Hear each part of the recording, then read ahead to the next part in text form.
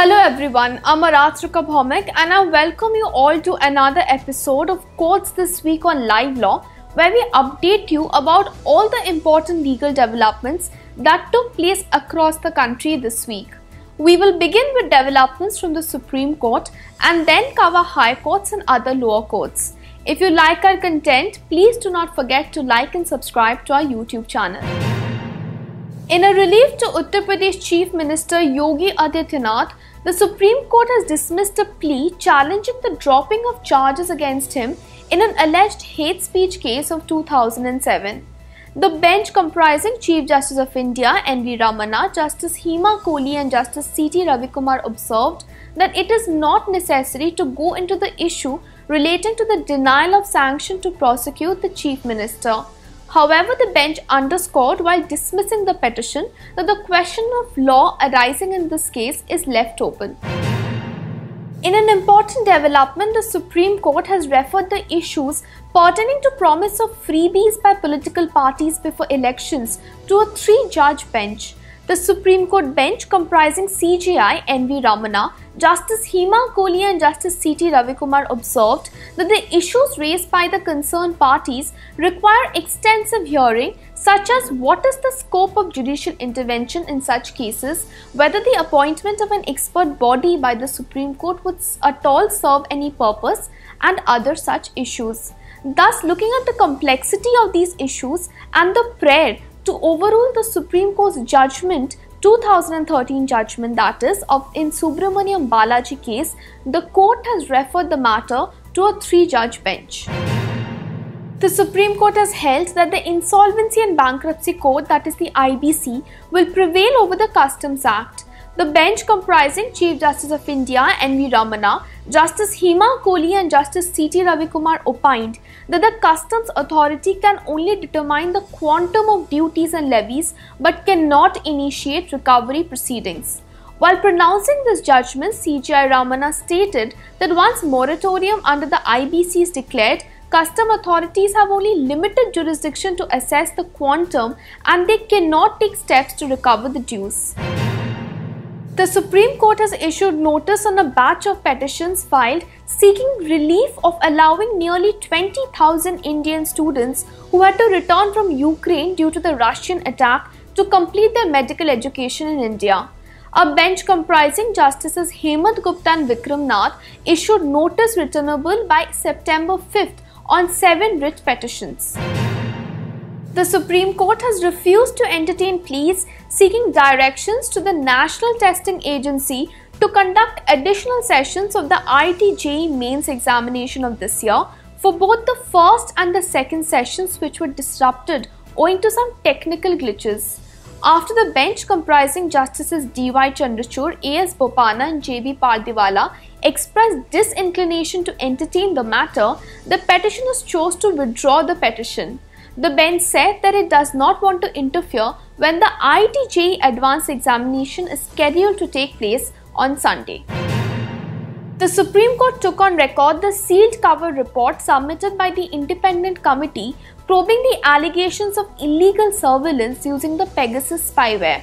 A bench comprising Chief Justice of India N.V. Ramana, Justice Surya Kant and Justice Hema Kohli orally remarked that the government of India did not cooperate with the committee and that the government had followed the same stand which it took before the court as well, whereby it refused to clearly state if the spyware was purchased or not. The bench also noted that the technical committee found malware in 5 of the 29 devices that were submitted to it, However, it is unclear whether the malware was in fact Pegasus. In an important development, the Supreme Court has issued notice on the petition challenging the order of the Gujarat government allowing the premature release of 11 convicts sentenced to life in the Bilkis Bano case for gang rape and murder. A bench comprising CJI N.V. Ramana, Justice Ajay Rastogi and Justice Vikram Nath, however, posed a query with respect to the legal bar on grant of remission to the convicts. During the hearing, Justice Rastogi asked senior advocate Kapil Sibal, appearing for the petitioners, as to whether it is sufficient to say that the remission is wrong merely because the act was horrific. Significantly, Justice Rastogi and Justice Vikram Nath were part of the bench which had ruled back in May this year that the Gujarat government has the jurisdiction to decide the remission in this particular case. The Supreme Court has issued notice on a petition filed by Congress MP Karti P. Chidambaram seeking review of his July 27th judgment in Vijay Madanlal Chaudhary vs. Union of India, which upheld the powers of arrest, attachment, seizure conferred on the Enforcement Directorate by the Prevention of Money Laundering Act of 2002. A bench comprising CJI NV Ramana, Justices Dinesh Maheshwari and CT Ravikumar said that prima facie two aspects of the judgment upholding the legislation required to be reconsidered. First, regarding no legal requirement to provide ECIR copy to the accused, and second, the reversal of the presumption of innocence. The Supreme Court of India has deferred the petition filed by Teesta Setalvad seeking bail in the case registered by the Gujarat Anti-Terrorism Squad alleging falsification of records to implicate high state functionaries in the Gujarat riots conspiracy case. A bench comprising Justices UU Lalit, Ravindra Bhatt and Sudhanshu Dhulia adjourned the matter to August 30th after Solicitor General Tushar Mehta, appearing for the state of Gujarat, sought time to make corrections in the response filed to the petition. During the hearing addressing Solicitor General, Justice Lalit orally remarked that the court needs to test as to whether incarceration in the present case was required or not. The Supreme Court has noted that as per the committee appointed by the Supreme Court, Punjab SSP Harmandeep Singh Hans had failed to discharge his duties in ensuring security of the Prime Minister during his visit to Punjab in January this year. The case, which had sought a probe into the security lapse during the visit of the Prime Minister to Punjab, was heard by the bench led by the Chief Justice of India, N.V. Ramana. The court had earlier appointed former Supreme Court Judge Justice Indu Malhotra to probe into the matter. The Supreme Court has passed a direction to terminate the mandate of the Committee of Administrators, which had been constituted by the court to manage the affairs of the All India Football Federation. The court passed this order in light of the decision taken by the FIFA to suspend AIFF, which construed the functioning of the Committee of Administrators as a third party interference.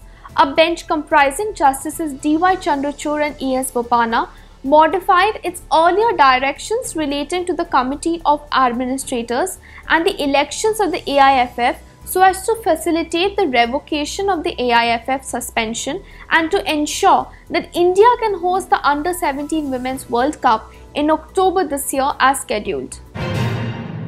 Chief Justice of India N.V. Ramana has said that he has constituted a bench led by Justice D.Y. Chandrachud to decide upon the questions pertaining to the legal dispute between the Delhi government and the central government regarding the control over administrative services in the national capital.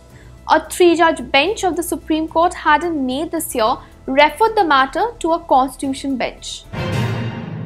The Supreme Court has stayed all proceedings against BJP leader Syed Shahnawaz Hussain in connection with an alleged 2018 rape case. Hussain had approached the top court challenging the order of the Delhi High Court directing registration of an FIR against him. A bench comprising Justice Uday Umesh Lalit, Justice S. Ravinder Bhatt, and Justice Sudhanshu Dhulia issued notice in the plea, and the matter will now be heard next month. The Supreme Court has directed status quo to be maintained in the matter pertaining to OBC reservations in Maharashtra local elections. This means that the OBC quota cannot be implemented for the time being in the 367 local bodies where the election process has already been notified. A special bench of the Supreme Court comprising Chief Justice of India N.V. Ramana, Justice Abhay S. Oka and Justice J.B. Pardiwala was considering an application filed by the state of Maharashtra seeking recall of the July 20 and July 28 orders which restrained the State Election Commission from re-notifying the election process in 367 local bodies where the election process had already been notified so as to implement the OBC quota. The Supreme Court has declared Section 3, Subsection 2 of the Benami Transactions Prohibition Act 1988 as unconstitutional on the ground of being manifestly arbitrary. Section 3, Subsection 2 prescribes that whoever enters into any Benami transaction shall be punishable with imprisonment for a term which may extend to three years or with fine or both. The court further held that the Benami Transactions Prohibition Amendment Act of 2016 cannot be applied retrospectively. A bench headed by the Chief Justice of India delivered the judgment in an appeal filed by the central government against a judgment of the Calcutta High Court holding that the 2016 Amendment Act was prospective in nature. The Supreme Court has pulled up Baba Ramdev for making statements against modern medicine systems like allopathy. A bench led by the Chief Justice of India, N.V. Ramana, orally criticized Ramdev while hearing a petition filed by the Indian Medical Association seeking to control the smear campaign and the negative advertisements against the vaccination drive and modern medicines. CJI Ramana, while observing that systems popularized by Baba Ramdev might not always work, remarked that he must restrain from abusing other systems. The Supreme Court has reiterated that the Mumbai Metro Rail Corporation, that is the MMRCL, would be bound by its earlier affidavit which stated that no trees have been cut or should be cut in the Aarey forest post the Supreme Court order dated October 7, 2019. During the previous hearing, the Metro Rail Corporation had told the Supreme Court that no cutting of trees has been carried out in the Aarey forest. While adjourning the hearing, a bench led by Justice U.U. Lalit said that the Mumbai Metro Rail Corporation would be bound by the undertaking taken by them earlier. The 2021 policy places its users in a take it or leave it situation virtually forcing its users into agreements by providing a mirage of choice and then sharing their sensitive data with Facebook companies envisaged in the policy. The Delhi High Court has observed while upholding the proposed investigation of the Competition Commission of India into WhatsApp's privacy policy. A division bench comprising Chief Justice Satish Chandra Sharma and Justice Subramaniam Prasad dismissed the appeals filed by WhatsApp and its parent company Meta, formerly Facebook, against a single bench order declining to interfere with CCI's investigation into the 2021 privacy policy. A Delhi court has recently expressed its displeasure at the state of police investigation in the 2020 Northeast Delhi riots case where a man named Sajid, who was a complainant in the case, was surprisingly himself made an accused in an attempt to murder case that targeted him. Sajid had alleged that on February 25, 2020, while trying to escape a riotous crowd, he was hit by a gunshot. During investigation, Sajid was examined, and since he had suffered an injury in the riots, it was deduced by the police that he was also a part of the riotous mob. Questioning the probe, the additional sessions judge, in an order passed on August 18th, observed, and I quote here Sajid during investigation was made an accused. One of the primary reasons was that since he had suffered a gunshot injury during the riots, he can be held to be a part of the riotous mob. By this logic, every injured person in a riot's case can be made an accused. The Karnataka High Court has observed that nowadays in government offices, corruption has become rampant and no file is moved without a bribe. Justice K. Natarajan made the observation while refusing bail to B.T. Raju, working as the assistant engineer with the Bangalore Development Authority. The Anti Corruption Bureau had arrested him for demanding money and accepting a bribe of rupees 5 lakhs. The Delhi High Court has observed that as per Muslim law, a minor girl who had attained the age of puberty can marry without the consent of her parents and has a right to reside with her husband even when she is less than 18 years of age. Justice Jasmeet Singh made the observation while granting protection to a Muslim couple who got married in March this year as per Muslim rites and rituals. The plea was moved by a couple seeking directions to ensure that nobody separates them. The court was of the view that the POCSO Act will not be attracted in the present case as it is not a case of sexual exploitation but a case where the couple fell in love, got married according to Muslim laws, and thereafter had a physical relationship. The Delhi High Court has dismissed the appeal filed by Kashmiri businessman Zahoor Ahmad Shah Watali, challenging the trial court order denying him bail last year on the ground of COVID 19 in connection with a terror funding case. A bench comprising Justice Mukta Gupta and Justice Anish Dayal observed that pursuant to the status report, it was revealed that Watali was being regularly treated and was also receiving prescribed medicines and that his condition was stable and satisfactory. The bench was also of the view that as on date, it cannot be said that the COVID 19 situation is still prevalent and that the life has returned to normalcy would apply even to prisoners who are in custody. The Madras High Court has passed final orders in the case against the engagement of uniformed police officers as orderlies at the residence of higher officials in Tamil Nadu. Justice S.M. Subramaniam has directed the authorities to ensure that the orderly system is completely abolished within a period of four months. In an important development, the Allahabad High Court has granted bail to Siddique Kappan's co-accused Muhammad Alam in connection with the Hathras conspiracy case. UAP accused Alam has been granted bail by the bench of Justice Ramesh Sinha and Justice Saroj Yadav as it concluded that there appeared no complicity and involvement of the appellant with the terrorist activities or any other activity against the nation. Importantly, distinguishing his case from that of Siddique Kappan, the court has observed that while incriminating material was allegedly recovered from Kappan's possession, no such incriminating material was recovered from the possession of Alam. The Kerala High Court has stayed the Sessions Court order granting anticipatory bail to writer and social activist Civic Chandran in a sexual harassment case while hearing a plea moved by the state government challenging the bail order.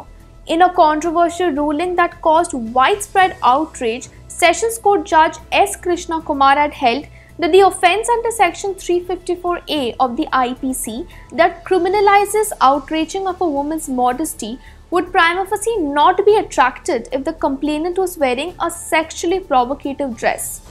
The Kerala High Court held that the observation of the lower court that the offence under section 354A of the IPC is not prima facie attracted merely because a woman was wearing a sexually provocative dress cannot be justified. The High Court further observed that the Sessions Court had relied upon irrelevant materials while granting anticipatory bail to Chandran. Thank you. Keep watching Courts this week on Live Law for more such updates. See you next week.